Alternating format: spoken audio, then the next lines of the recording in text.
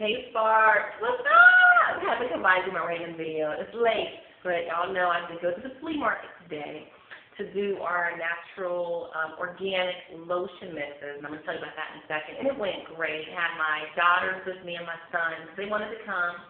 They wanted to make money, and it's great because we did. We made over 100 bucks, which, you know, that's for the first time ever there, um, close to 200, and it felt so good. Um, so we did the, and I'm going to tell you this. What I've learned for you all that are kind of picking this up in your state, you know, I don't mind, do what you do because, look, I'm not the only person out here with shea butter. But you want to call it natural organic lotion because a lot of people aren't familiar with shea butter or they hear shea, they don't like it because it's hard.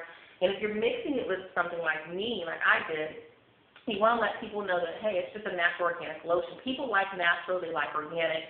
Um, I mix mine with mango butter or coconut oil or cocoa butter. I use 100% organic product. So when I do the product, I have three ingredients. I have the shea and the mango or coconut or coconut oil, and I add honey as a preservative. So that's just a tip for all my entrepreneurs out there just really thinking about what can I do. If you're into the natural products, man, natural is the new new. So anyways, I was tired. So me and the kids were out working. I came home. My husband was mowing the lawn. He fixed me some dinner. Me and the kids, he cooked dinner. So that was great.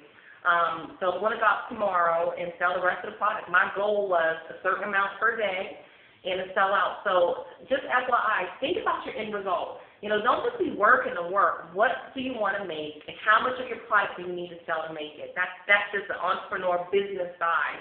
Yeah, this is fun, but I'm in it for a profit. So um, if you see here, I'm going to give you a kind of quick peek at what's left. So this is kind of how the shade looks. it's really light. We're in Florida, but course, it will harden up once, you know, I put it under my kitchen or under my bathroom sink. Um, it was really cool. I was kind of out there mixing stuff up. So here's some things.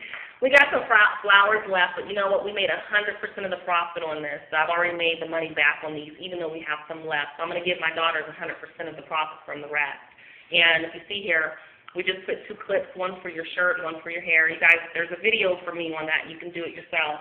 Um, and then here is just, you know, from the labels we kind of put on there, and I put what it is. So, listen, don't tell me what you can't do because you can do anything you want to do. This is my first time ever selling a product, ever in a flea market, doing something like this, and I liked it a lot. So, peace to you. I hope that you had an awesome, productive day. Let's go get this Money 52 Week Challenge video coming up tomorrow.